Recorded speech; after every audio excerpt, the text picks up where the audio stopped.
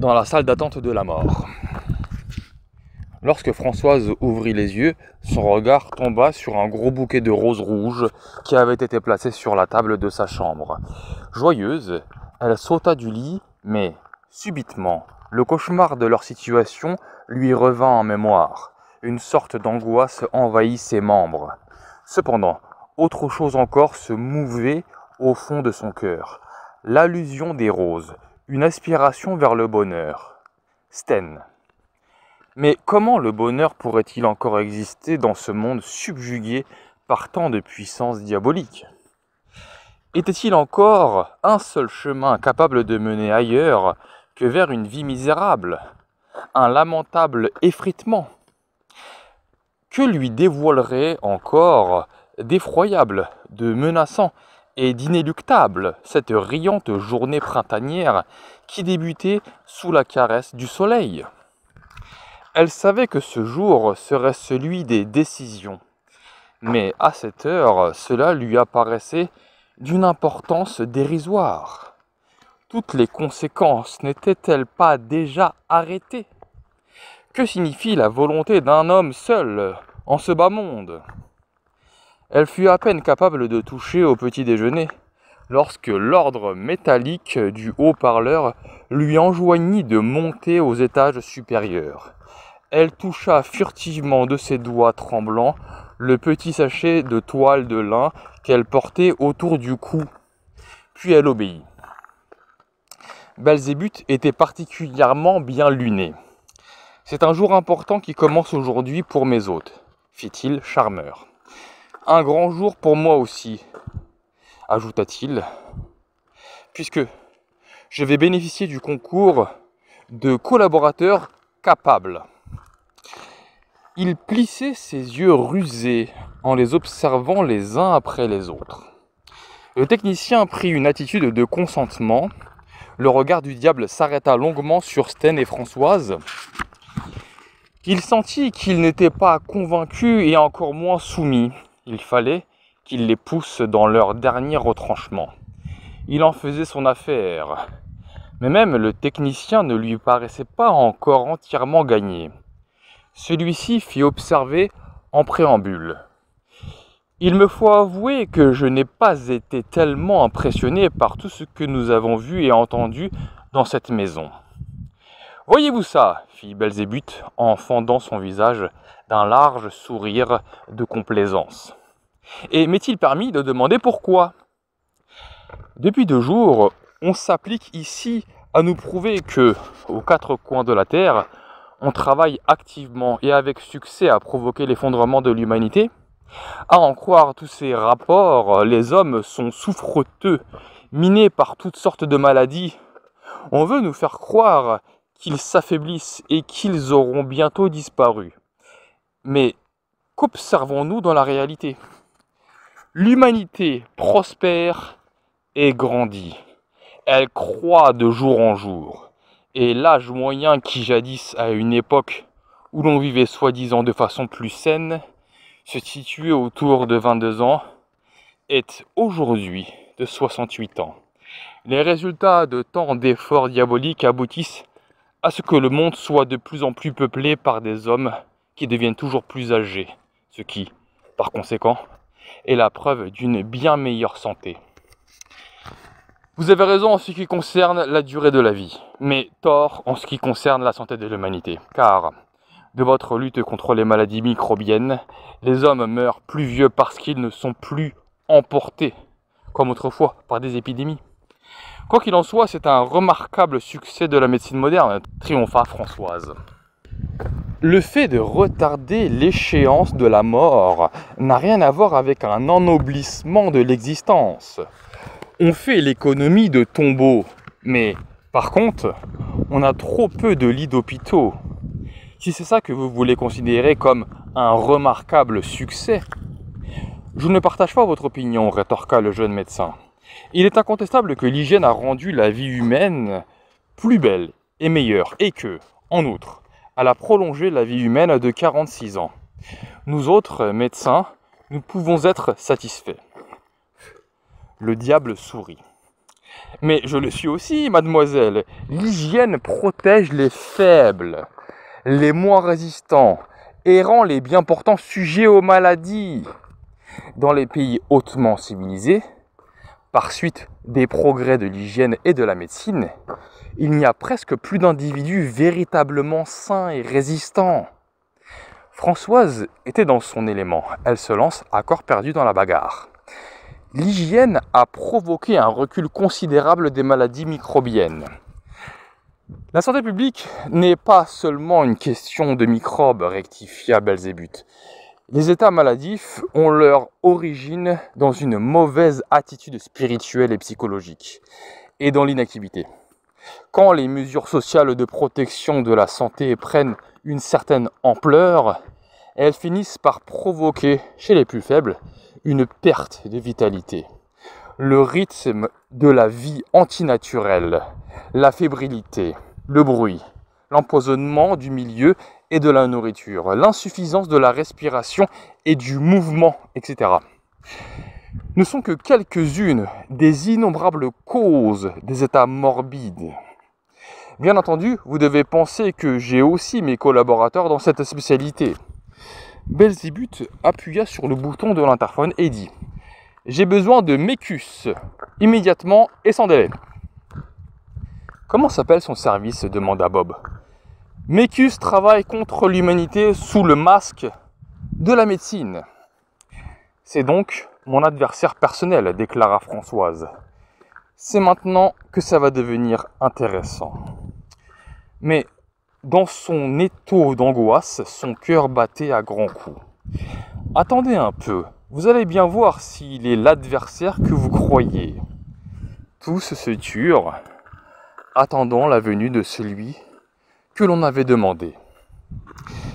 Françoise rompit le silence. Le progrès de l'hygiène sociale sera certainement encore amélioré grâce aux conquêtes de la médecine. Le diable acquiesça.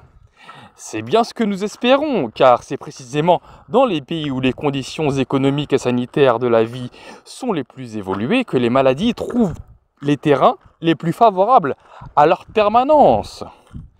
Par exemple, la poliomyélite, fit observer Mécus, qui venait d'entrer en coup de vent dans la pièce. C'était un grand diable qui portait des lunettes et une blouse blanche. Belzébuth lui fit un signe. Mécus va nous donner quelques explications concrètes. Le démon des médecins expliqua. Prenons par exemple le Kenya. Lors de l'épidémie de polio de 1954, sur un million d'hommes vivant dans cette contrée, 250 blancs, 60 asiatiques et 12 noirs furent atteints. Prenons encore la Roumanie où la polio apparut en 1955-1956 pour la première fois. Eh bien, c'est dans les centres industriels que furent enregistrés 60% des cas, bien que 27% de la population seulement vive dans ces régions. Oui, mais nous avons aujourd'hui préparé un excellent vaccin, fit remarquer Françoise. Vous voulez dire un remarquable poison dont les hommes n'ont pas encore reconnu les dangers. Quoi qu'il en soit, ce poison immunise 75% de ceux à qui il a été injecté, à condition que les vaccins soient répétés à intervalles réguliers. Mais, une fois de plus, on lutte contre le symptôme et non contre la cause. En outre, la préparation de ce vaccin, comme aussi celle des QT réactions, exige des dizaines de milliers de singes en provenance des Indes qui y laissent leur vie dans d'atroces conditions. Les hommes valent plus que des singes quand même, s'indigna Françoise. Il vous serait sans doute bien difficile de nous apporter une preuve tangible de cette affirmation, estima Belzébuth. D'ailleurs, la tuberculose n'est plus une maladie mortelle, disputa Françoise.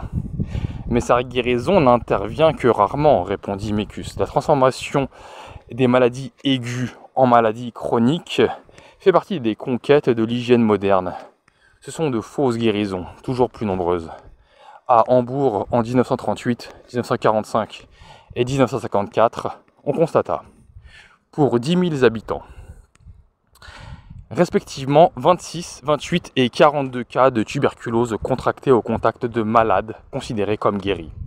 Cependant, nous avons vaincu la mortalité des nouveau-nés, insista Françoise.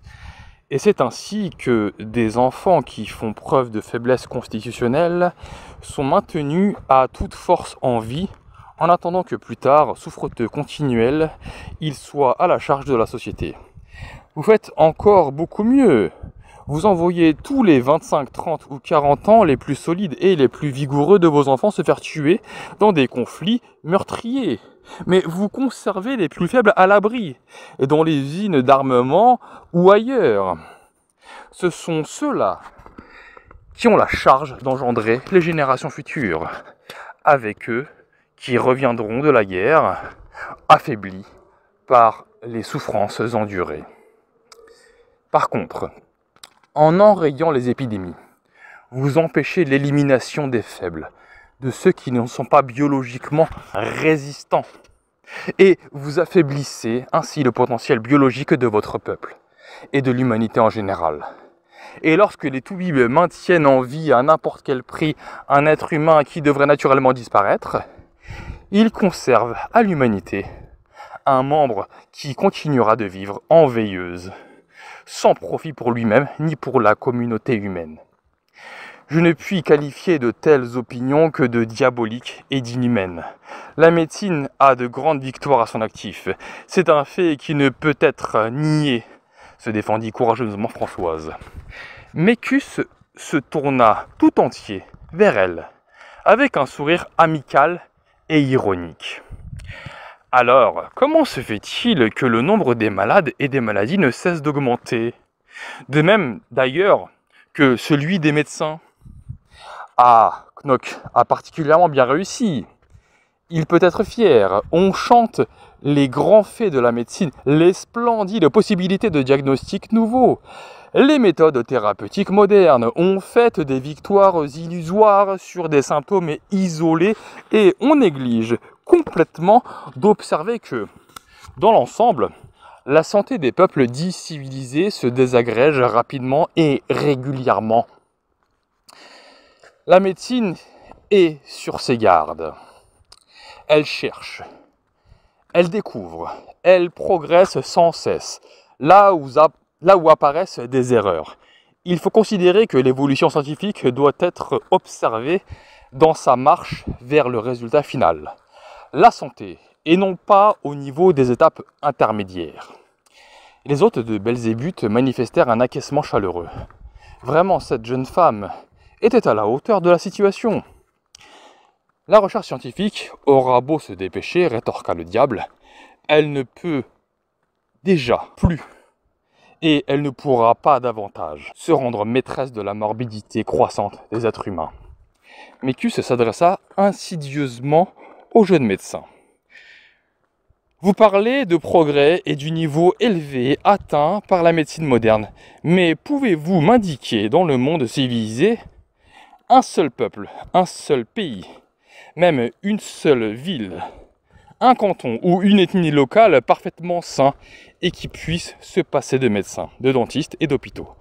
Quelle notion attachez-vous exactement, mademoiselle, au terme de santé À mon avis, doit être considéré comme sain celui qui se sent exempt de tout malaise, ou encore celui chez qui le médecin ne peut déceler aucun caractère morbide.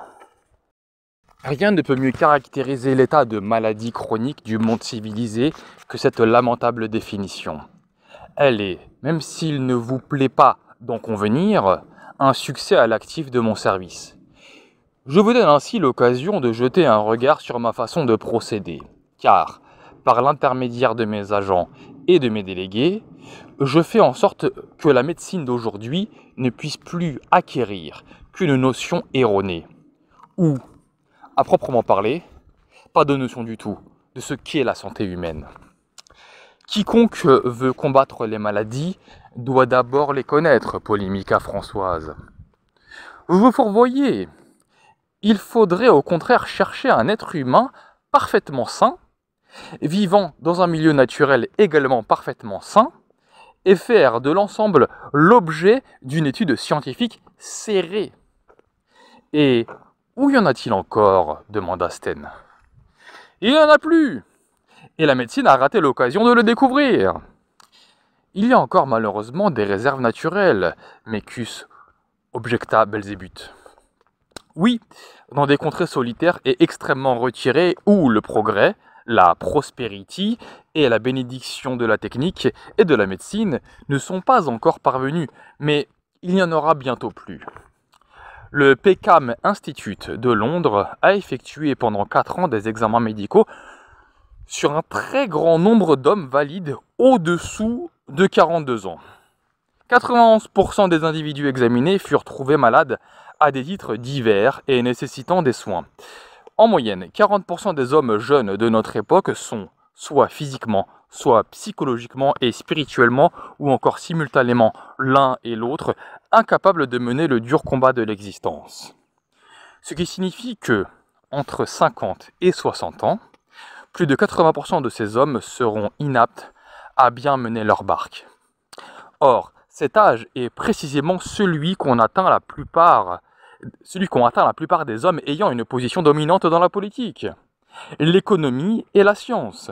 Le destin de l'humanité glisse ainsi toujours davantage entre les mains de faibles, de malades, d'affligés et de débiles mentaux.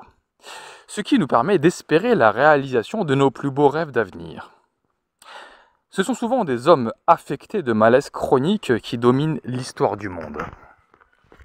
En tant que médecin, je vois les choses tout différemment. Grâce à la médecine moderne, l'homme est aujourd'hui capable de surmonter facilement, à l'aide de remarquables médicaments, des troubles qu'il aurait autrefois dangereusement affectés durant toute sa vie. Je suis convaincu que l'humanité est aujourd'hui en excellente santé, dans tous les cas en meilleure santé qu'elle ne le fut jamais dans les siècles passés. Et que signifie, selon vous demanda Amicus, toutes les fatigues chroniques, tous ces gens dont la santé est chancelante, le manque de résistance aux infections diverses, l'ennui, la nervosité, l'inappétence ou la boulimie, la paresse intestinale et les nombreuses, petites ou grandes, affections de l'existence que le primitif ne connaît pas. Est-ce cela que vous nommez la santé? Afin de continuer à vous croire en bonne santé, vous êtes obligé d'utiliser un truc. De 10 ans en 10 ans, vous vous mettez à considérer certaines affections comme banales et sans importance. Autrement dit, vous abaissez sans cesse les normes de la santé. Vous êtes malade, mais vous ne voulez pas vous l'admettre. Vous vous mentez à vous-même afin de continuer à estimer que la vie vaut la peine d'être vécue. L'homme dont les dents sont carriées n'est pas considéré comme un malade. Celui dont les yeux sont affaiblis, celui dont la voûte plantaire s'affaisse, l'homme qui souffre de l'estomac et de l'intestin, tous sont considérés comme des biens portants. S'ils ne montrent pas d'autres misères physiques décelables ou sensibles, les douleurs rhumatismales, les allergies, toutes sortes de petits troubles circulatoires sont aujourd'hui le lot d'hommes considérés comme étant en bonne santé dès lors qu'il n'exige pas de traitements médicaux. C'est ainsi que s'étend une zone d'incertitude toujours plus large dans laquelle le médecin, lui non plus, ne peut plus préciser où cesse la santé et où commence la maladie.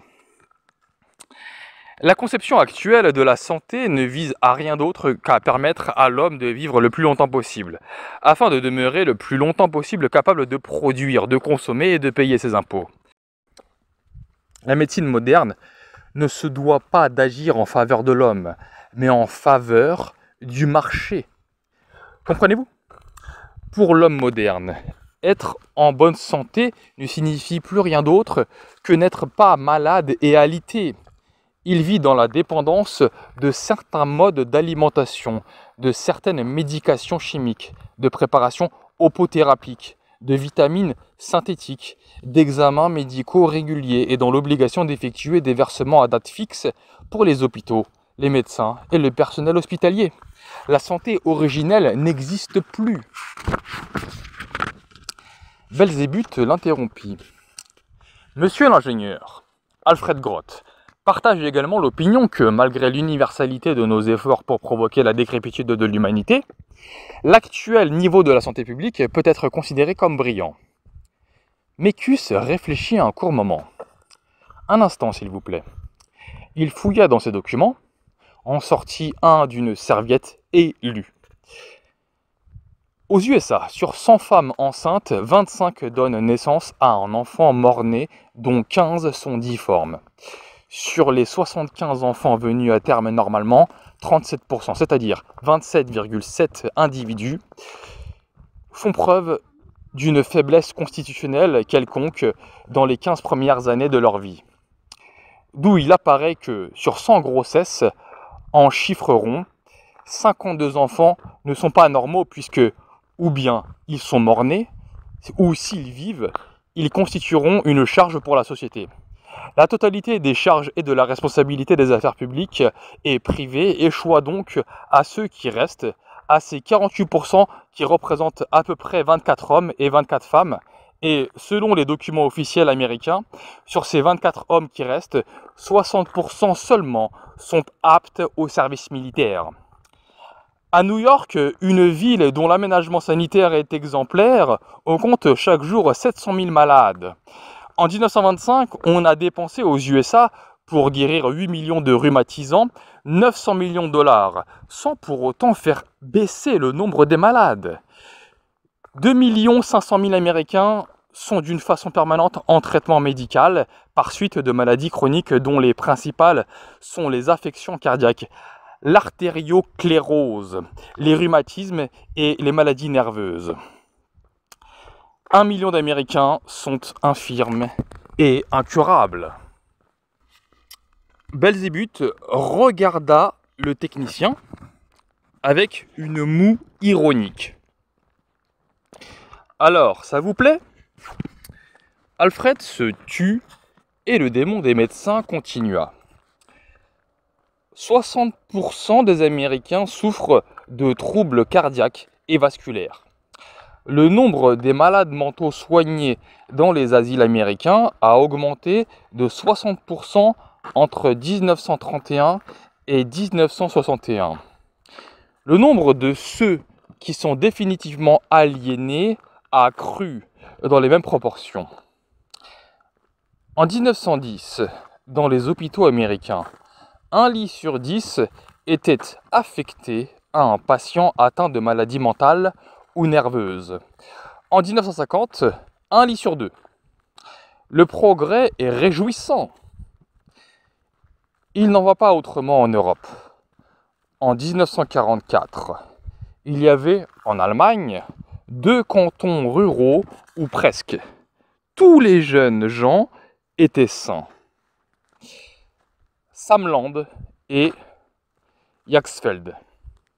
Aujourd'hui, dans les contrées rurales demeurées les plus à l'abri de votre progrès, à peine 60% des jeunes gens sont demeurés en parfaite santé. Et cependant, le nombre des médecins a triplé en Allemagne depuis 1914. Dans tout le monde civilisé, le nombre des maladies chroniques s'est enflé à tel point que ni les médecins ni les hôpitaux ne suffisent à les soigner toutes. Le nombre des maladies cardiaques, circulatoires, des troubles du métabolisme, de l'estomac, de l'intestin, du foie, des reins et des cas de diabète et de cancer ne fait que croître.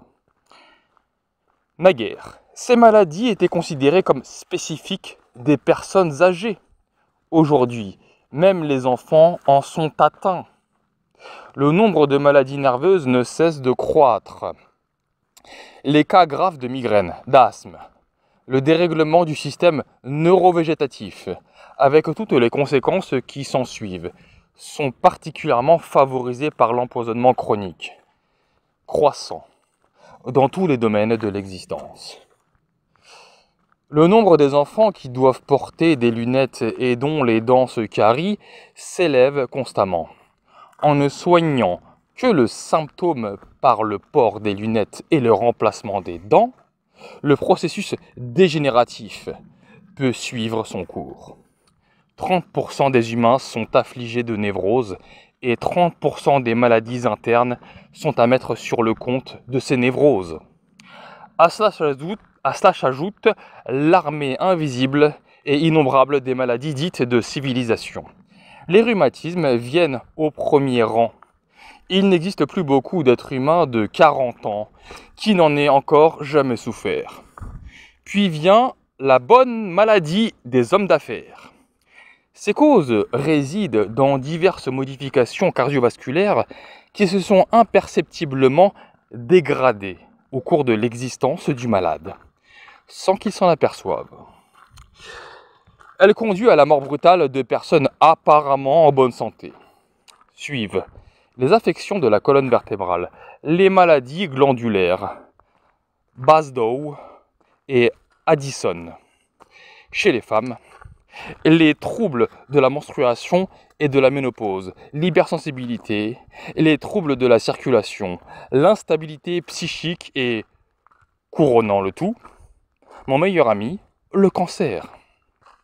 Belzébuth ne se tenait pas de joie à l'énumération de ces misères humaines. Voilà l'image d'une brillante situation sanitaire. Ne trouvez-vous pas, monsieur Grotte mais Mécus n'en avait pas fini. Il reprit. Une alimentation incorrecte et un mode de vie fébrile ont fait de l'artériosclérose, qui a été naguère un signe de l'âge, une maladie de jeune. Elle est devenue si commune qu'il a bien fallu la considérer à son tour comme l'un des tribus dus à la civilisation. Il en va de même de la tension artérielle, de l'ulcère, de l'estomac et bien entendu, une fois de plus, du cancer. Quant au gros colon, c'est un atelier menacé d'effondrement.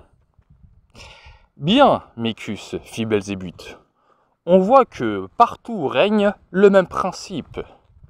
Mon principe.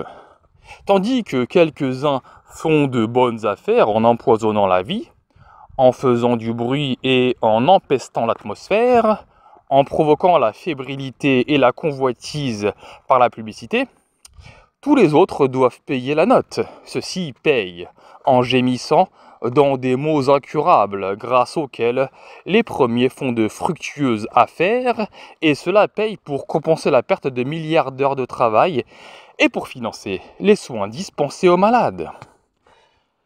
La petite population d'un pays comme la Suède, dont la protection est assurée médicalement et hygiéniquement par la standardisation des lois sociales les plus poussées, paye annuellement 10 milliards de couronnes. À elle seule, les, maladies dues au refroidissement engloutissent 300 millions de couronnes. Ravissant, Minoda Belzébuth. Dans toutes les professions, continua Mécus, je fais de mon mieux pour faire disparaître le maximum de jeunes, autant que possible les cadres et les patrons, et pour rendre inaptes au travail le plus grand nombre d'exécutants. Il y a seulement dix ans, l'âge auquel le cœur des chefs d'entreprise flanchait le plus souvent était 56 ans. Cet âge est aujourd'hui 50 ans. La mortalité des cadres actifs âgés de 50 à 65 ans est de 50%. Chez 75% d'entre eux, l'incapacité au travail intervient en moyenne 12 ans trop tôt. 4 à 5% des êtres humains sont malades en permanence et grèvent ainsi le budget de la société. C'est pour camoufler à l'opinion publique cette évolution alarmante que mes délégués ne cessent de chanter les louanges de la médecine et le niveau sans cesse plus élevé de la santé publique. Et bien sûr, les gens y croient. Mécus s'approcha du tableau des commandes, de l'écran, et manœuvra quelques leviers et boutons. Écoutez le professeur Van Bormann au congrès de thérapie de 1955. Nous vivons aujourd'hui plus longtemps, plus heureux et en meilleure santé qu'autrefois. Le moins qu'on puisse dire, c'est que tous ces discours sur les prétendues maladies de la civilisation induisent les gens en erreur. Nous devrions proclamer au contraire que nous sommes en bonne santé grâce à la civilisation.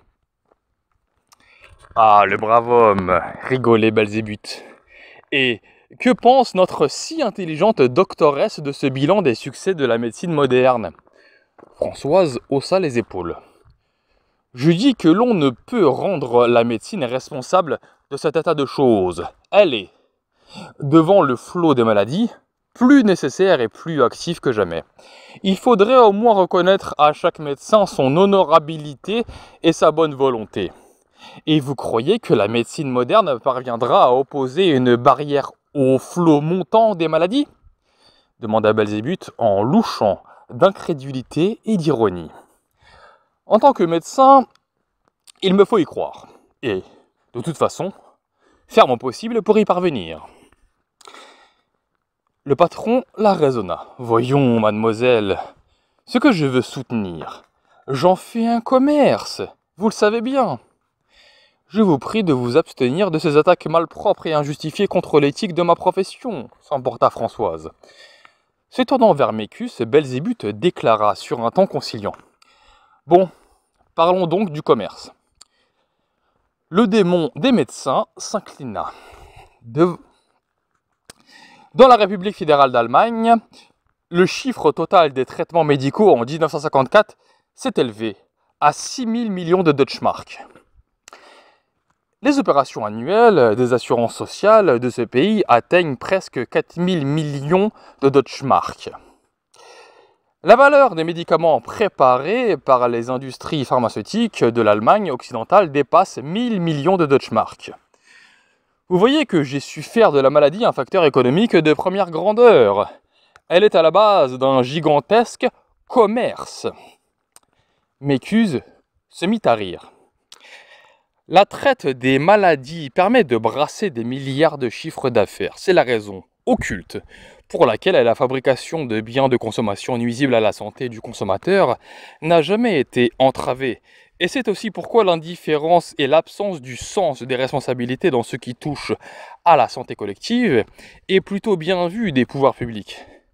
C'est en agissant à distance et de façon cachée que je soutiens cette évolution contre toute raison et contre toute conscience sociale et humaine. Non, non, ce n'est pas vrai, cria Françoise en regardant son, interlocuteur avec des yeux fixes et agrandis par l'horreur. Ce n'est pas vrai. Vous ne voyez pas juste les médecins. Essayez donc un peu de voir les choses objectivement, mademoiselle, lui dit Mécus en souriant avec douceur. Prévenir vaut mieux que guérir, n'est-il pas? Or, vous voyez bien que j'ai rendu la maladie financièrement plus intéressante que sa prophylaxie. Vous n'êtes tout de même pas assez naïve pour penser qu'il n'existe pas de, de médecins qui préfèrent à une prophylaxie à laquelle ils n'ont rien à gagner qu'un traitement permanent avec médicaments, piqûres et rayons. Il y a des gens en marge dans toutes les professions, mais ils constituent une minorité et sont méprisés de tous les médecins consciencieux. La correction des médecins dans leur ensemble ne peut quand même rien changer à la situation telle qu'elle se présente. Or, ils ne sont plus des spécialistes de la santé, mais des spécialistes de la maladie et qui vivent de la maladie. La jeune fille était devenue songeuse. Il faudrait se mettre à parcourir le monde comme des apôtres et enseigner aux gens ce qu'est la santé, comment on l'acquiert et comment on la conserve. Pour un médecin qui agirait ainsi, cela équivaudrait à un suicide économique. De plus, il serait condamné à l'inefficacité. Car mes gens sont diablement attentifs aux originaux de ce calibre. Une société qui tire le quart de ses revenus économiques de la maladie poursuivra diffamera et essayera fatalement de mettre hors d'état de nuire quiconque chercherait à faire connaître les moyens de vivre en bonne santé. Un apôtre de la santé publique se heurterait aux intérêts capitalistes de trusts puissants et de groupements économiques qui profitent de l'ignorance des masses humaines dans ces domaines. Il se heurterait à tous ces trusts qui encouragent l'intempérance sous toutes ses formes avec de puissants moyens de propagande, tout en écoulant leurs produits nocifs. Une véritable éducation populaire dans ce domaine aurait pour effet un bouleversement économique fantastique. C'est pourquoi elle sera empêchée par tous les moyens. N'avez-vous jamais observé qu'il est aujourd'hui bien porté de souffrir de toutes sortes de malaises? Puisque la maladie est une bonne affaire, il ne faut pas être bien portant.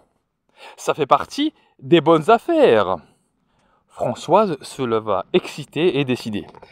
Il me faut protester avec la dernière énergie contre la manière dont la profession médicale est ici attaquée et insultée. L'ordre des médecins est la sauvegarde des plus hautes valeurs humaines et il, et il agit de façon exemplaire à la face du monde. Les yeux de Belzébuth se mirent à briller d'une triomphante ironie mais il cacha un sourire secret et se contenta de prononcer lentement. Il n'est pas de profession qui soit plus facilement induite en tentation de trahir ses hautes valeurs humaines et de les fouler aux pieds. L'authentique et impérissable sacerdoce médical a de bien lumineux exemples à faire valoir dans l'histoire de la médecine. Il implique une haute moralité et le plus noble humanisme. Cependant, un certain nombre de ses disciples ont ravalé ce sacerdoce au rang d'un simple gagne-pain. Il en est parmi eux qui sont à mon service et d'autres qui, malheureusement, sont mes adversaires. Il y a longtemps que je suis parfaitement conscient que les médecins représentent un énorme danger pour mes activités. C'est pourquoi je leur ai opposé mes amis mes agents et mes délégués. Autrement dit, j'ai créé les spécialités médicales, les techniciens de la médecine. C'est à l'époque de Pasteur que fut pris le tournant. Depuis lors, ceux des médecins qui demeurèrent conscients de leurs responsabilités humaines s'engagèrent dans une voie et ils, y sont devenus mes ennemis. Dans l'autre voie progresse l'armée, très sûre d'elle-même, des spécialistes et des techniciens de la médecine. Je crois vous comprendre, dit à mi-voix la jeune fille, le front soucieux. J'ai mis en place au XXe siècle, et je soutiens activement, un système médical qui a toutes les apparences de l'exactitude scientifique mais qui est en réalité partial et dogmatique. Sans l'exactitude qui anime la recherche scientifique, l'homme ne serait jamais parvenu à vaincre les nombreuses maladies microbiennes. Cette victoire est tout à fait dans la ligne de ce que nous soutenons, car la lutte personnelle du corps humain contre les maladies microbiennes est une des fonctions naturelles d'un organisme sain. Lorsque cette fonction lui est épargnée, il en perd progressivement la faculté. Aussi, Dès qu'il se trouvera entraîné dans une catastrophe quelconque, catastrophe que actuellement la présence constante du médecin parvient encore à lui faire surmonter, à l'aide d'antibiotiques qui deviennent progressivement plus inefficaces, l'homme sera perdu. Belzébuth se frotta les mains en riant. Et j'en vois mûrir des quantités de ces dangereuses catastrophes. De quelle nature pourrait-elle être? Dégénérescence, maladies nouvelles, inconnues et incurables, guerre, conflits, misère, désordre et perte de la conscience, énuméra le patron. Oui, ajouta le démon des médecins, c'est alors que commencera la grande danse macabre, celle que prépare depuis des dizaines d'années la sagesse et la toute-puissance des nations. Nous n'en sommes malheureusement pas encore là, grogna Belzébuth. En inventant le spécialiste médical, j'ai asséné aux médecins le coup qui leur sera fatal. En promouvant la médecine d'aujourd'hui, j'ai liquidé l'art de guérir avec le tarabiscotage scientifique contemporain. J'étrangle les derniers instincts naturels qui pouvaient encore mener les hommes à la guérison. Je livre ceux qui s'appliquent à soigner et à guérir à l'action corrosive de l'érudition analytique, car celle-ci rompt en eux le contact avec la vie. C'est ainsi qu'ils ne peuvent plus devenir que des techniciens de la médecine, mais pas des médecins. Le rapport de nombre entre ces deux catégories s'est modifié considérablement au cours des 30 dernières années aux dépens des médecins. Et l'évolution actuelle se poursuit dans le même sens. Finalement, il n'y aura plus que des spécialistes et plus de praticiens de médecine générale. Or, les spécialistes sont aveugles à l'égard de la vie considérée dans son intégralité. Sten déclara en hochant la tête. Vous vous trompez lourdement si vous croyez que les hommes ne pressentent pas, qu'ils ne remarquent pas ce que vous dites là. Beaucoup sont déjà devenus sceptiques et méfiants à l'égard de leurs méthodes thérapeutiques. Peut-être. Mais je fais classer ces sceptiques et ces incroyants dans la catégorie des fantasques. Les méthodes thérapeutiques modernes, fit observer Françoise, sont souvent extrêmement actives et, en de nombreux cas, elles agissent même radicalement.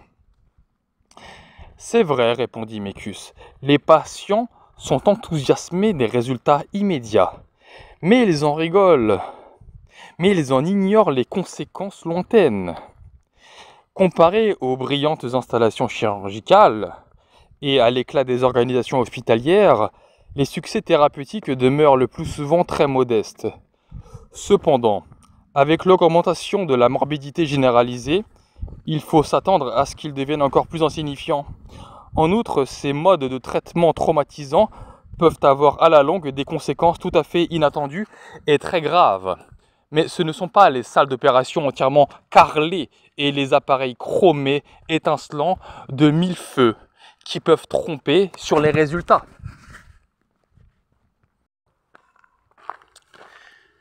Françoise se dressa à nouveau. Je suis indigné du cynisme avec lequel vous ravalez toutes les valeurs et tous les efforts. Vous savez parfaitement que des milliers de médecins sont jour et nuit sur la brèche, se sacrifiant pour sauver de précieuses vies humaines. Que des chirurgiens avec des mains bénies accomplissent des miracles, que des infirmières, modèles de vertu féminine, travaillent pour un salaire de misère. D'autres encore, dans l'habit monastique, renoncent à leur vie privée pour se vouer à la souffrance des autres, sans aucune compensation pécuniaire. Tous et toutes représentent une des plus hautes formes d'humanité qui ne peut être rabaissée ni salie par personne, pas même par le diable. Ennuyé, les paupières closes, le démon des médecins avait attendu la fin de cette explosion d'indignation. Il poursuivit immédiatement sans chercher à répondre aux idées exprimées. Les techniciens de la médecine éternisent les souffrances des malades parce que la lutte qu'ils mènent contre les symptômes des maladies aggrave presque toujours les causes de celles-ci et provoque en plus de nouvelles affections. Ils considèrent la maladie comme un phénomène isolé, à sa cause, et son domicile dans le corps humain. Et ils ne comprennent pas que les racines du mal doivent être cherchées dans l'ensemble du monde ambiant, dans l'air, dans l'eau, dans le sol, et aussi dans la psychologie de l'individu. Ils ne comprennent pas que c'est dans la technique que doit être combattue la morbidité, la chimie, dans la cupidité, la vanité, dans un faux progrès et dans un standard de vie artificiel. Toute maladie est la conséquence d'une erreur dans le mode de vie. Combattre l'apparition de symptômes dégénératifs est une lutte sans espoir, si l'on ne peut tarir leur source.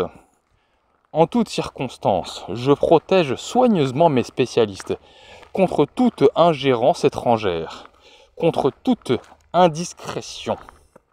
J'empêche que le peuple soit instruit de l'essentiel et je fais passer les connaissances fallacieuses de mes techniciens de la médecine pour de sacro-saintes vérités. Je fais grandir par une adroite propagande l'auréole du toubib moderne. Françoise se défendit énergiquement. Je proteste contre cette définition du médecin malveillante, partiale et totalement fausse.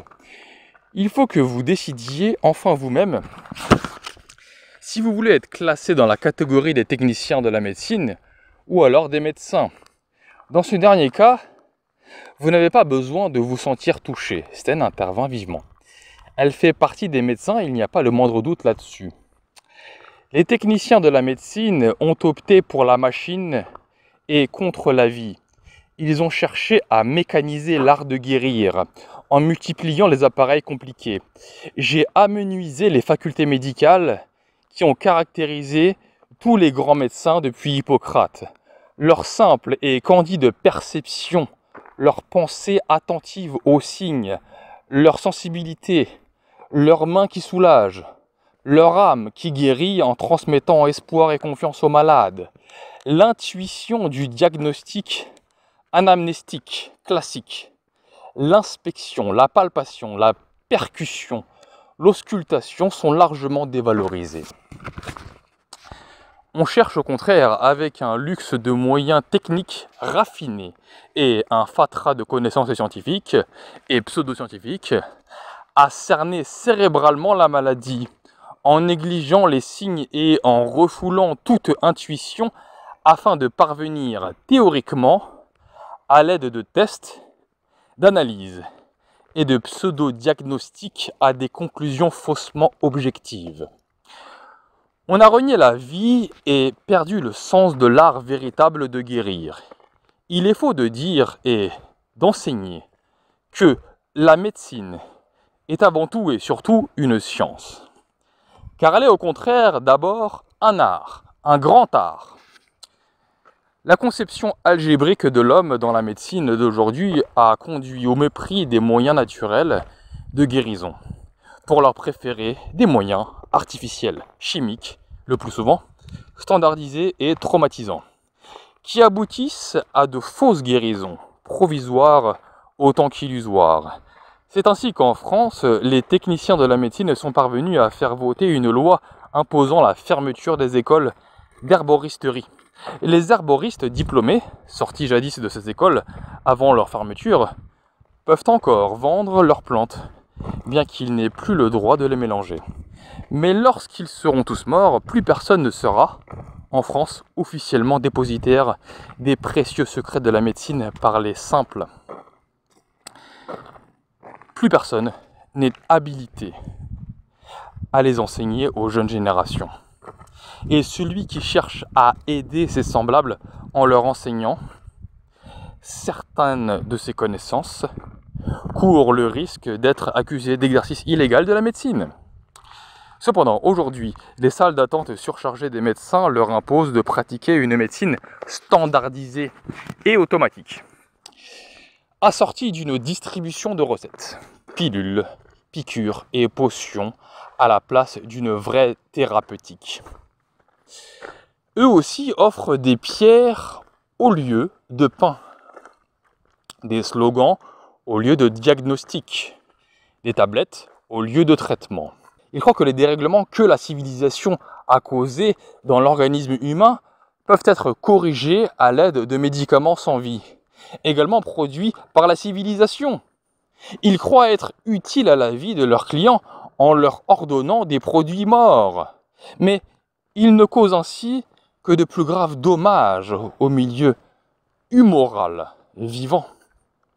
C'est ainsi que je suis arrivé à développer les industries pharmaceutiques et la vente de leurs produits de façon fantastique. Pour chaque maladie, l'industrie pharmaceutique a 100 petits remèdes infaillibles qu'elle vous propose avec une sollicitude touchante.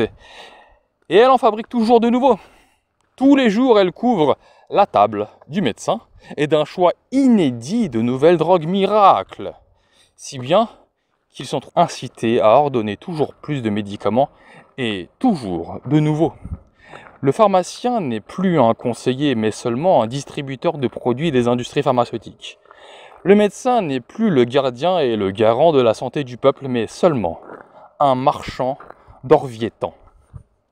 Le patron ajouta, et pourtant, parmi tous ces grands et petits moyens de la médecine chimique, il n'en est pas un sur mille qui atteigne vraiment son but et à qui on puisse s'en remettre sans risque.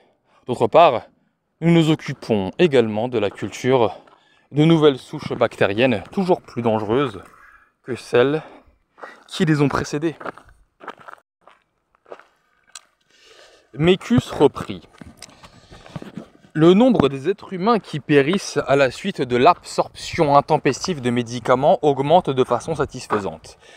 Le nombre de ceux qui sont atteints de graves symptômes d'empoisonnement à force d'avaler des pilules ou qui ont contracté ainsi d'insidieuses maladies organiques est difficilement estimable, mais il se chiffre sûrement par plusieurs millions d'individus. Ce qui est appréciable, c'est que la plupart de ces gens ne connaissent pas l'origine de leurs troubles. La manie de prendre des médicaments est devenue une nouvelle maladie qui, depuis 1950, a augmenté de 110% dans le monde civilisé. 1 sur 4 parmi les civilisés souffrent d'insomnie. L'accroissement du chiffre de vente des somnifères croît dans la même proportion que celui des véhicules automobiles. De grandes quantités de spécialités pharmaceutiques sont ainsi ingérées tous les jours sans aucun contrôle médical. C'est bien pourquoi on ne peut en rendre les médecins responsables, dit Sten. Que vous dites? Car il existe, pour ainsi dire, pas un produit pharmaceutique qui ne porte, soit sur l'empaquetage, soit sur le mode d'emploi, la recommandation d'un plus ou moins célèbre professeur ou technicien de la médecine. Le Danemark, avec ses 4 millions d'habitants, avale tous les ans ses 150 millions de cachets d'aspirine, à peu près autant de remèdes contre la migraine et, en chiffre rond, 9000 kg de somnifères. Lors des semaines thérapeutiques d'Allemagne, en 1952, on a compté environ 100 000 spécialités pharmaceutiques, dont un petit tiers seulement ne peut être délivré que sur ordonnance. La population de l'Allemagne de l'Ouest ingère quotidiennement 2 200 000 cachets ou pilules, soit 800 millions par an sur ce total on compte 350 millions d'analgésiques, 125 millions d'aspirine, 145 millions de soporifiques et 180 millions de laxatifs. Ces chiffres me garantissent la permanence de la morbidité actuelle, remarqua Belzébuth avec joie.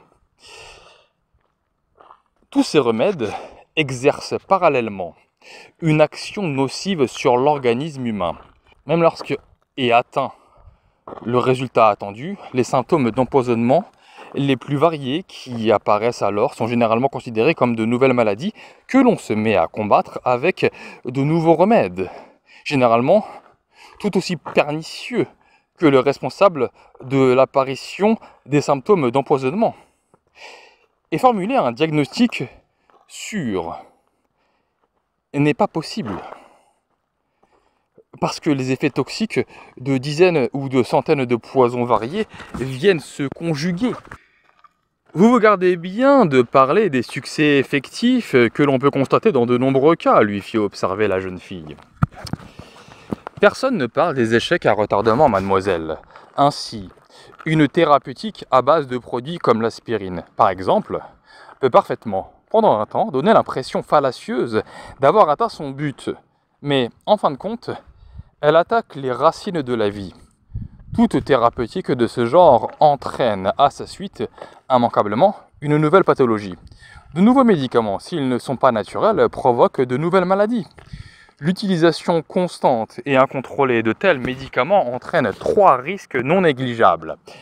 Une accoutumance du malade qui peut tourner à la toxicomanie, des désordres organiques, et finalement le danger que l'emploi constant de ces remèdes ne permette pas de reconnaître à temps l'aggravation ou l'apparition de nouvelles affections comme par exemple, le cancer.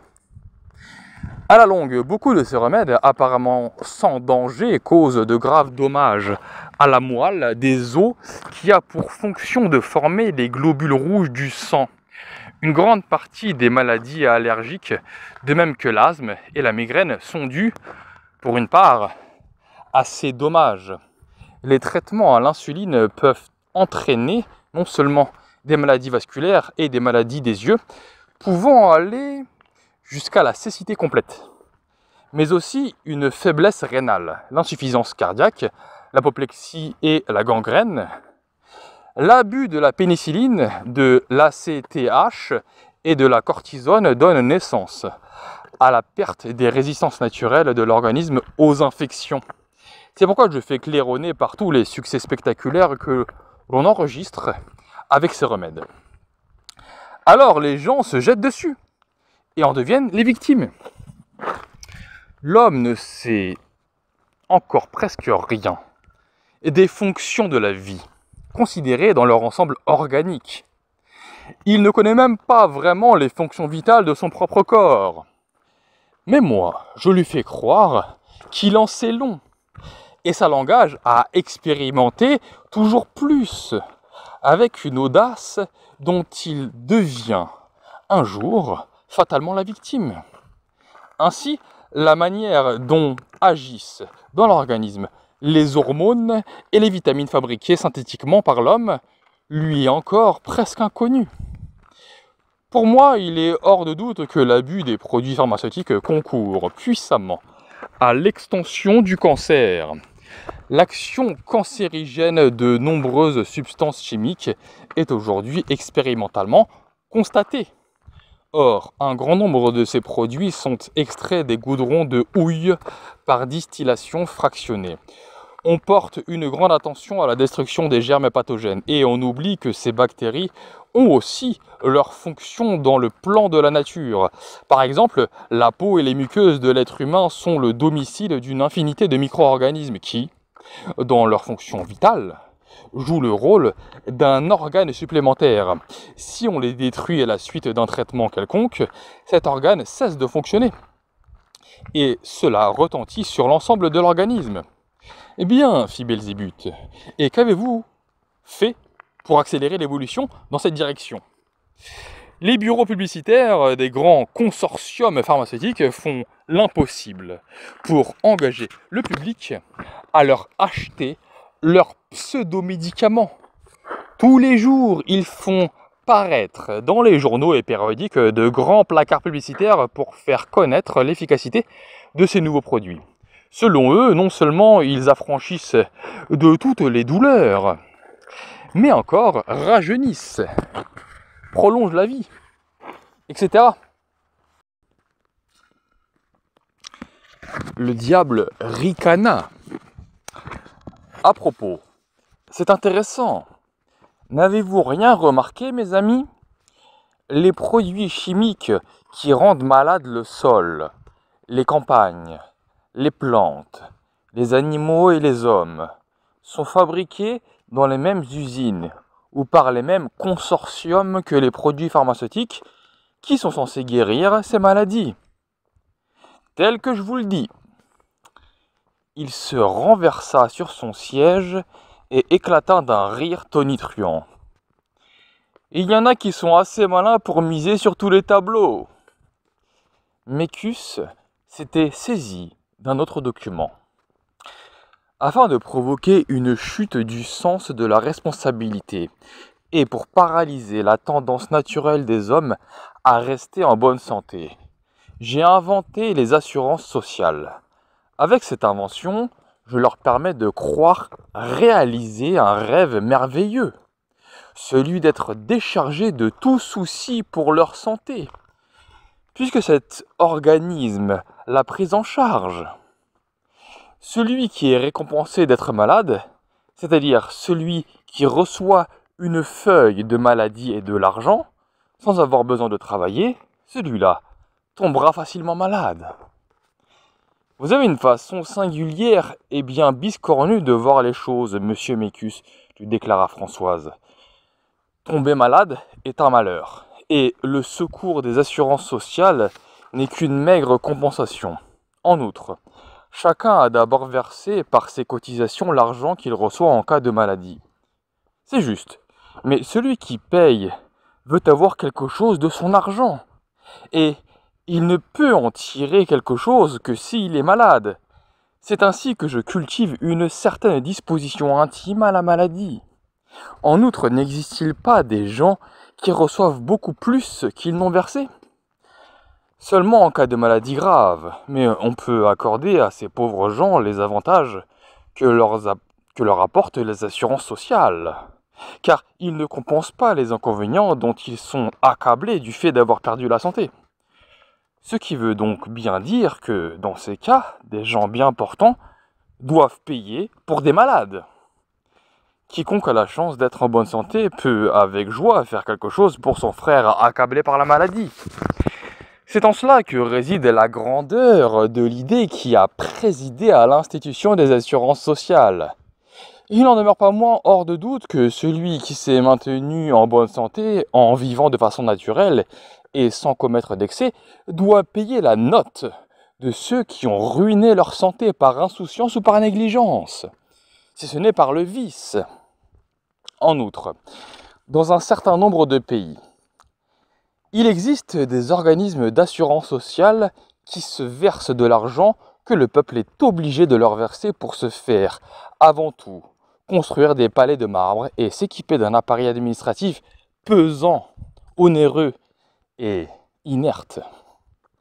Avant qu'il y ait des caisses d'assurance sociale, répliqua Françoise, un malade qui n'avait pas d'argent pour payer le médecin n'avait simplement qu'à disparaître. Il n'y a pas si longtemps que les choses se passaient encore ainsi. Sten fit observer. Vous voulez parler du malade qui n'avait pas d'argent pour payer ceux que M. Mécus a nommés les techniciens de la médecine. Ces gens au cœur sec et à l'esprit borné à force de cérébralité. Car les vrais médecins ont toujours été prêts à aider les malades, même sans honoraires. Mécus reprit. Il n'en demeure pas moins vrai que, finalement, un malade non assuré guérit plus vite qu'un assuré. Tant est profonde l'influence du psychisme sur la psychologie, sur la physiologie. Même des blessures consécutives à un accident guérissent plus vite chez celui qui n'a pas le temps d'être malade et qui doit payer lui-même les frais du traitement. Pour les névrosés, sans parler des gens qui ont perdu leur conscience, la socialisation excessive de la médecine constitue littéralement un danger personnel. Afin d'affaiblir les immunités naturelles de l'organisme humain, dès le début de son existence, j'ai fait voter l'obligation de la vaccination de tous les enfants depuis l'âge le plus tendre. Et c'est ainsi que les résistances naturelles du corps, déjà sensiblement amoindries par les conséquences pernicieuses de la civilisation, sont affaiblies toujours davantage. Françoise ne pouvait permettre cette attaque contre ses convictions médicales sans apporter la contradiction. Vous savez parfaitement vous-même que pour toute une série de maladies virales, nous n'avons qu'une alternative, vacciner ou mourir. Je vois, moi aussi, deux possibilités, mais ce ne sont pas les mêmes. Demeurer en bonne santé ou bien vacciner. Il n'en existe pas de troisième. Si j'ai rendu la vaccination antivariolique obligatoire, c'est parce que les humeurs varioliques avec lesquelles le vaccin est préparé sont des poisons. Ils ont une bonne part de responsabilité dans la dégradation en cours de la santé de peuples entiers. Et les enfants montrent souvent après la vaccination un affaiblissement sensible dans leur évolution intellectuelle. Très bien, Mécus, fit le diable. Les médecins n'ont pour ainsi dire pas constaté le développement latent de certains troubles cérébraux à la suite des vaccinations. Mais j'en viens à l'essentiel, car, puisque nous parlons de maladies et de spécialistes de la médecine, nous ne devons pas oublier notre cher, notre excellent, notre remarquable cancer. Soudain, sorti du néant à côté du rapporteur, apparut Murdus Catu, l'homme à la tête de mort. Il resta muet, debout et immobile, le regard perdu dans le vide. Belzébuth et Mécus n'y prêtèrent pas attention. Ils semblaient s'attendre en permanence à sa venue.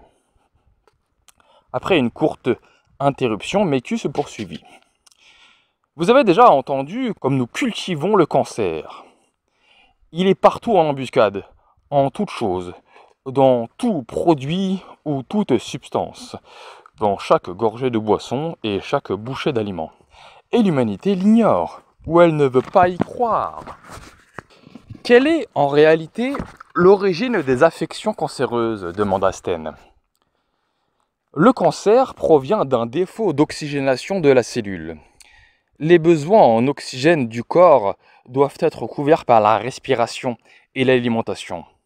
Nous avons fait sombrer la teneur en oxygène de l'air et de tous les aliments en y introduisant des substances chimiques et nous avons affaibli l'activité des enzymes qui régissent la respiration cellulaire dans le corps en le submergeant de poisons les plus divers.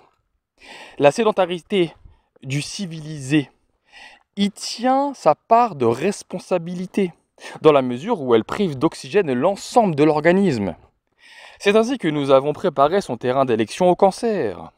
Les cellules atteintes se mettent à se multiplier et à végéter follement de façon anormale. La tumeur cancéreuse est née. Cette observation me semble claire et logique. Et personne ne l'aurait encore faite demanda Alfred avec incrédulité. Aucun être humain n'y est encore parvenu, déclara Mécus triomphalement. Il ment, gronda Murduscatu. Et tous se tournèrent vers lui. Le professeur Otto Warburg, directeur de l'Institut Max Planck de physiologie cellulaire à Berlin, et le docteur Solomides à Sceaux, près de Paris, ont prouvé de façon claire et nette que le cancer est causé par une détérioration de la respiration cellulaire du fait d'une insuffisance d'oxygénation. Heureusement, l'humanité ne s'est pas aperçue de cette découverte, répondit Mécus. Mes succès dans le domaine du cancer ont à peine été affectés par les indiscrétions de ces deux-là. Mes représentants ont reçu l'ordre de ne laisser à aucun prix se répandre l'idée que la formation de la tumeur cancéreuse est l'aboutissement d'une longue évolution pathologique provoquée par l'empoisonnement progressif du monde ambiant. C'est ainsi que l'on considère le cancer comme une affection localisée et que l'on cherche encore et toujours à le guérir par un traitement local. Comme un fou qui voudrait vider sa baignoire tandis que l'eau coule dedans par mille robinets. Cependant, il est hors de doute que, grâce à l'ablation ou à l'irradiation, des succès notables ont été remportés, déclara Françoise. L'opération écarte provisoirement la disposition locale à la formation d'une tumeur, mais pas la disposition de l'ensemble de l'organisme. L'ablation partielle d'un organe atteint protège par un court espace de temps le reste de cet organe, mais pas l'ensemble du corps. Si l'opéré survit, il court autant de risques de voir se reformer une nouvelle tumeur quelque part dans son corps que celui qui n'a pas été opéré. On ne peut même pas prouver que l'opération retarde la formation de cette tumeur. Afin d'endormir plus sûrement l'humanité, j'ai créé un service annexe spécialement pour le cancer. Il a pour but de susciter l'optimisme et l'espoir du public dans la guérison prochaine du cancer, en sorte que les hommes n'en viennent pas à reconnaître leurs erreurs, et qu'ainsi ils ne changent pas leur façon de vivre.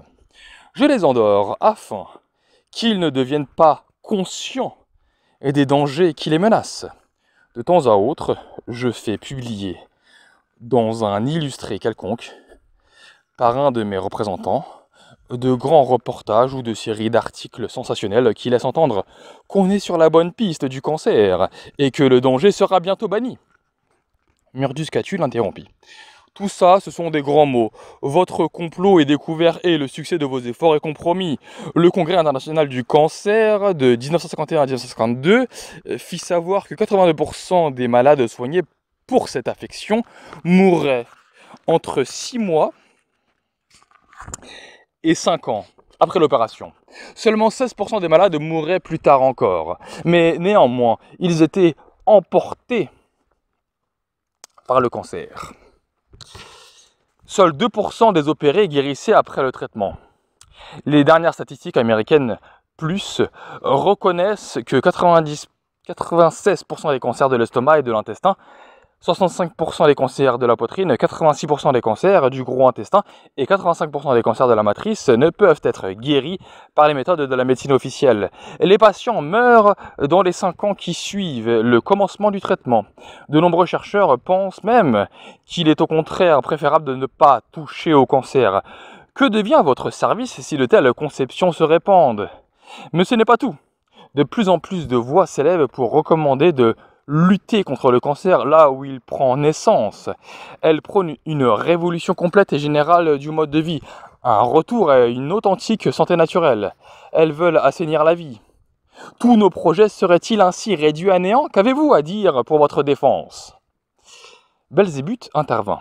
Murdus Catus sait très bien qu'un tel revirement est exclu. C'est pourquoi nous ne voulons pas perdre notre temps avec de telles utopies. Mécus c'était de nouveau approcher des commandes de l'écran. Veuillez écouter le professeur Charles S. Cameron, directeur de la Société américaine contre le cancer, qui, par un livre intitulé La vérité sur le cancer, a rasséréné le monde entier.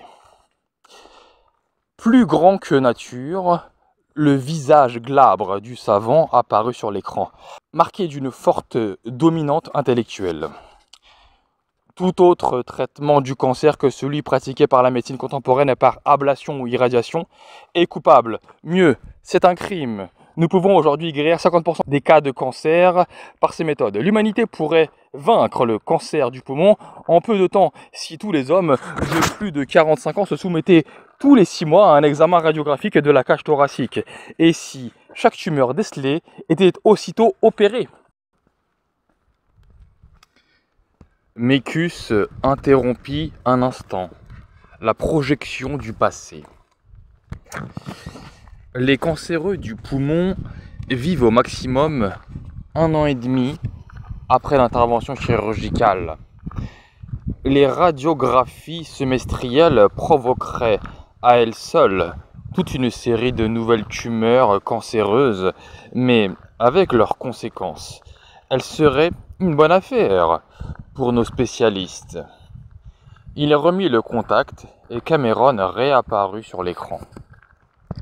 Je considère comme des utopies toutes les tentatives faites pour abaisser le nombre des cas de cancer par une vie dite équilibrée ou par une alimentation prétendument plus pure et rationnelle, ainsi que le recommandent certains bons apôtres de la vie saine.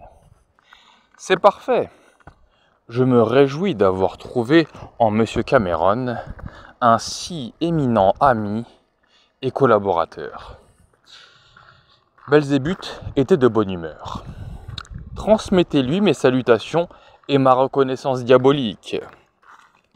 Mécus s'inclina et poursuivit. Le président du comité central allemand pour la recherche et la lutte contre le cancer, le professeur Dr Martius de Kottingen a écrit dans sa préface pour l'édition allemande du livre du professeur Cameron des louanges sans réserve. Et le Comité fédéral d'éducation populaire de la santé, à Bonn, a recommandé avec insistance la diffusion de cet ouvrage. Ah, les braves garçons Selon ce que vous venez de dire, il semble donc que la radiothérapie dans le traitement du cancer soit également un leurre, dit pensivement Alfred. Vous avez parfaitement compris, la radiothérapie empêche la respiration des cellules en les tuant. Elle peut donc retarder provisoirement la croissance d'une tumeur. Mais comme, simultanément, des tissus sains sont inévitablement irradiés, elle en vient fatalement à endommager les cellules qui entourent la tumeur et provoque ainsi une cancérisation des cellules normales. Les facultés naturelles de résistance de l'organisme sont aussi affaiblies par la radiothérapie, favorisant l'apparition d'autres tumeurs. Sauf dans certains cancers de la peau, l'irradiation n'entraîne jamais une amélioration jamais un apaisement de la souffrance, mais au contraire, elle provoque des brûlures et a des aggravations qui ont la mort pour conséquence. Il est absolument certain que, dans de nombreux cas, les opérations et la radiothérapie ont puissamment contribué à transformer une tumeur maligne en tumeur folle et à généraliser le cancer. De nombreux décès de cancéreux sont dus aux conséquences de l'opération. Mhm. Fit la tête de mort pour se manifester. Le plan fut bien préparé et exécuté, mais Mécus n'a pas travaillé avec suffisamment de discrétion, ou ses collaborateurs médicaux n'ont pas mérité sa confiance. Ce qui veut dire qu'il ne les a pas choisis avec assez de soin. Que pense Mécus du fait qu'une session du Sénat américain a nommé une commission d'enquête pour contrôler les machinations du Comité américain du cancer? Regardez un peu sur l'écran. Voici Monsieur Fitzgerald, le chef de cette commission d'enquête. Il parle de hautes autorités médicales aux États-Unis, comme en d'autres pays, ont constaté de façon incontestable que les rayons X peuvent provoquer ou favoriser le cancer. Un rapport du chef du service des cancéreux du Gotham Hospital de New York apporte la preuve que des malades n'ayant subi aucun traitement anticancéreux demeurent plus longtemps en vie que ceux soignés chirurgicalement ou par traitement au radium ou au rayon X. Et que, de plus, l'emploi de ces irradiations fait plus de mal que de bien. Si le radium, les rayons X et les opérations étaient la seule réponse au problème du cancer, la demande constante de crédits nouveaux destinés à la recherche scientifique dans cette branche devrait être considérée comme la plus grande escroquerie de notre temps. Derrière toutes ces machinations se cache le plus effrayant mélange d'intrigue, de jalousie, d'égoïsme, d'envie, de raisons inavouables, d'obstruction et de conjuration que j'ai jamais vu. Il me faut ici accuser publiquement la Medical Association des médecins d'Amérique, le Conseil de l'Institution nationale du cancer et d'autres hautes autorités médicales de sabotage systématique de la santé publique. Mille tonnerres, fit Belzébuth avec une nuance d'admiration. Cet homme a du courage. Il y en a quelques-uns comme ça, patron, fit Sten avec assurance, et ils vous donneront encore du fil à retordre. Le diable fit un geste ennuyé de dénégation. Sur l'écran, Fitzgerald continuait. Et il existe effectivement un complot, dont le but est d'empêcher l'usage et la libre divulgation aux USA de remèdes qui ont incontestablement une réelle valeur thérapeutique. On a littéralement jeté par la fenêtre des capitaux privés et publics dans le seul but de déconsidérer, et de fermer les cliniques, les hôpitaux et les laboratoires de recherche scientifique dont les méthodes sont opposées à celles des organisations médicales officielles, c'est-à-dire qui utilisent des produits naturels et non des remèdes toxiques. Je suis curieux de voir comment Mécus va expliquer de telles déclarations, déclara Belzébuth, en regardant son chef de service dans les yeux. Mais celui-ci haussa les épaules. Il n'y a rien à expliquer. Sur toute la Terre, mes techniciens continuent de soigner le cancer avec leurs rayons et leurs opérations. Que voulez-vous de plus? Les délégués que nous avons mis en place avec le titre d'attaché scientifique dans les salles de rédaction les ministères, la presse, etc., ont fait disparaître sans exception dans les archives tous les rapports de Fitzgerald. Cette muraille de Chine ne peut être franchie par personne, patron. Un seul périodique, le Defender, a eu l'audace de publier le rapport de Fitzgerald. Fort heureusement, son tirage est peu important. La commission d'enquête fut dissoute suivant le destin de toutes les commissions, et son rapport est soigneusement rangé quelque part. On n'a rien pu entreprendre contre le trust du cancer. Même la justice est impuissante.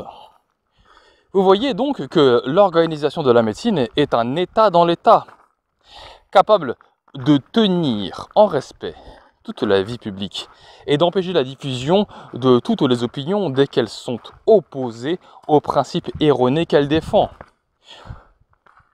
ou lorsqu'elles vont à l'encontre des intérêts sordides et des grands monopoles. nos affaires sont donc en bonne main. Murdus Catu n'a pas besoin d'avoir peur. Il me faut également signaler que la Commission centrale allemande pour la recherche et la lutte contre le cancer, lors de son assemblée principale à Göttingen en 1955, fit une déclaration au terme de laquelle tout article de presse sur le cancer devrait être contrôlé et agréé par la commission centrale avant toute publication. Ainsi aurons-nous peut-être un jour une censure supplémentaire exerçant un contrôle sur toutes les publications de presse, censure faite, bien entendu, par nos chirurgiens et nos radiologistes du cancer. Il n'est donc pas raisonnable de craindre que le peuple apprenne la vérité. Ouais, fit Mordus Catu, tout cela n'empêche pas qu'il y a encore toute une série de bonhommes qui crachent dans la soupe de Mécus et qui, dans leur ténacité bornée, ne doit pas être sous-estimé. Par exemple, un certain Maurice A. Bell, auteur d'un livre intitulé The Drug Story, l'histoire de la drogue, dans lequel il a pratiquement démasqué le travail, de votre service des maladies. Dans ce livre, il écrit Les guérisons naturelles du cancer font voir rouge aux trusts pharmaceutiques ainsi qu'aux politiciens de la médecine. C'est la raison pour laquelle les guérisons obtenues par les médecins naturistes ne sont jamais mentionnées dans la grande presse contrôlée par la finance. Car les collaborateurs scientifiques des milieux financiers rejettent systématiquement tout article qui pourrait porter atteinte à la vente des drogues, des produits chimiques, des sérums, des engrais chimiques, ainsi qu'au travail des radiologistes. Mécus eut un geste méprisant. Le cancer ne fait que s'étendre, malgré les lamentations de nos adversaires. Il atteint toujours plus les jeunes générations les cancéreux de 30 ans ne sont plus rares aujourd'hui. Bientôt, ce sera le tour des enfants. Le cancer est également de plus en plus fréquent chez les animaux domestiques soumis aux divers poisons de la civilisation. Victimes des humains, ils doivent payer, comme eux. C'est l'Autriche qui compte parmi les nations les plus avancées en ce qui concerne cette maladie. Un cinquième de sa population meurt du cancer. À Vienne, un être humain meurt tous les 50 minutes à la campagne, un toutes les 120 minutes. En 1951, on compte par 100 000 habitants 333 hommes et 273 femmes victimes du cancer. En 1956, 596 hommes et 415 femmes. Au total, en 1956, 70 770 êtres humains périrent par cancer dans ce pays. Je suis presque satisfait, déclara le patron. Étant convaincu que presque toutes les maladies connues à l'heure actuelle pourraient être évitées si l'homme menait une vie simple et naturelle, il convient donc que tout soit fait dans nos services, plus encore que par le passé, pour empêcher que l'homme n'en vienne à cette solution et pour couvrir de ridicule tous ceux qui prêchent un retour à la nature.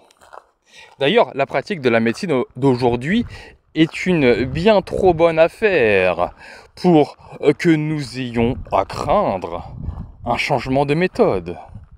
Une réforme généralisée du mode de vie réduirait de 9 dixièmes les frais actuellement occasionnés par les maladies, ce qui entraînerait pour une bonne centaine de professions une perte de revenus de 90%. Il est clair qu'une telle éventualité ne doit pas être envisagée. Prenez garde pourtant que les guérisseurs qui pratiquent des méthodes naturelles ne viennent fausser vos prévisions. Dans presque tous les pays, ils sont opprimés par l'État. J'ai fait rejeter toutes les propositions demandant l'institution de chaires de médecine naturelle dans les universités. La proposition qui fut faite en Allemagne de l'Ouest de faire de l'hygiène une nouvelle matière scolaire fut repoussée par les plus hautes instances. Mes techniciens de la médecine se gardent, tant qu'ils peuvent, eux et leurs méthodes, de toute influence extra-académique. La Chambre des médecins d'Autriche a envoyé un mémoire au gouvernement de ce pays, le suppliant de lutter par tous les moyens contre les guérisseurs dont l'action, disent-ils, porte gravement préjudice au développement de leur profession. En Allemagne également, les organisations médicales font l'impossible pour ramener le gouvernement à prendre des mesures de coercition contre les guérisseurs, bien que ceux-ci bénéficient d'un statut légal ce qui n'est pas le cas en France. Malgré une lutte intense menée dans ce sens depuis une vingtaine d'années, en outre, grâce à l'enseignement exclusif de la médecine officielle, j'ai fait considérer comme vieille et sans valeur et jeter par-dessus bord toutes les connaissances médicales pratiques que les hommes avaient accumulées et éprouvées au cours des millénaires de leur révolution. Et ces connaissances sont issus pour les 9 dixièmes de l'antique sagesse intuitive. Abrégé, abrégé, s'impatienta le patron. Pour en finir et me résumer, je puis affirmer que, grâce au travail de mon service et aux efforts conjugués des techniciens de la médecine, le niveau sanitaire général de l'humanité, particulièrement dans les pays dits civilisés, baisse rapidement chez une proportion satisfaisante d'individus. Vive le progrès triompha le diable.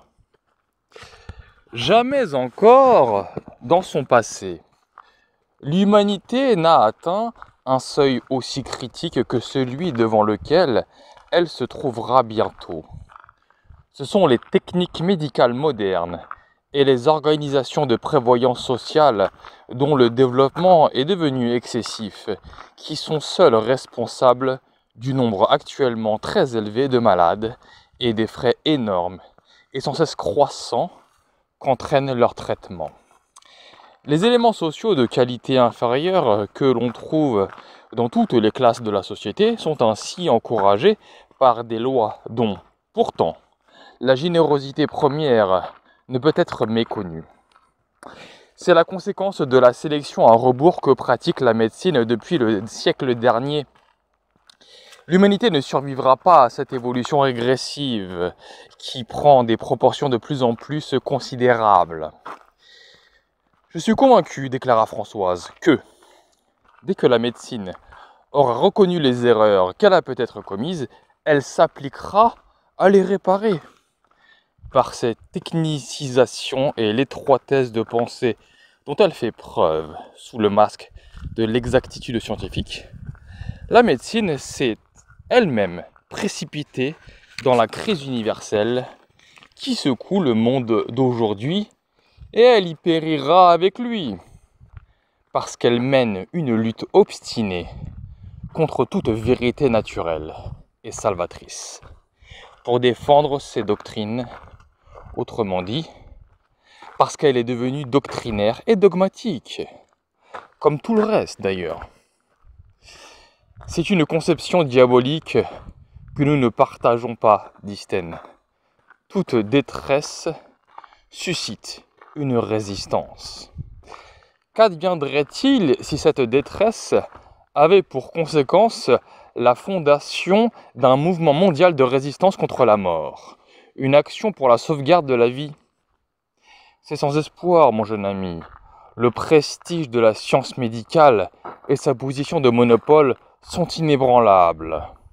Avec elle, j'ai engraissé un démon dont la voix tonnant du haut de sa chair est assez puissante pour couvrir la voix de la raison et pour déconsidérer tous ses contradicteurs.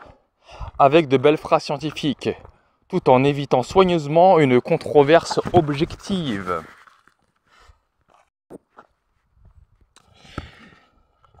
Toutes les doctrines erronées vont d'elles-mêmes à leur perte.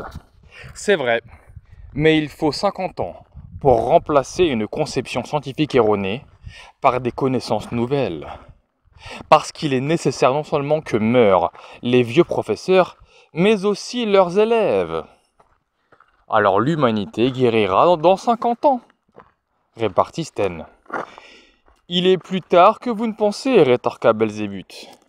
N'oubliez donc pas que nous avons toutes les positions clés entre les mains, reprit Mécus. Nous prenons garde que l'humanité demeure attachée à toutes ces habitudes qui lui sont chères et qui ruinent sa santé.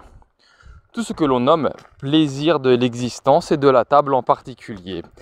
C'est ainsi que l'habitude de considérer la maladie comme un fait inhérent à l'existence l'a fait passivement sombrer dans un marécage de scepticisme et de résignation.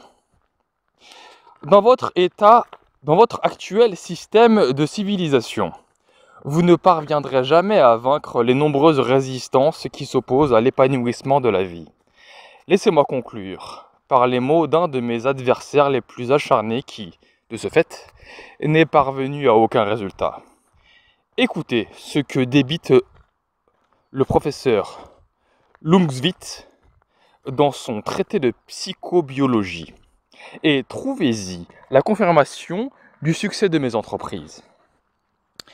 La faculté considère toute connaissance nouvelle comme une effraction dans le monde clos de sa science et rejette de ce fait tout ce qu'elle ne connaît pas.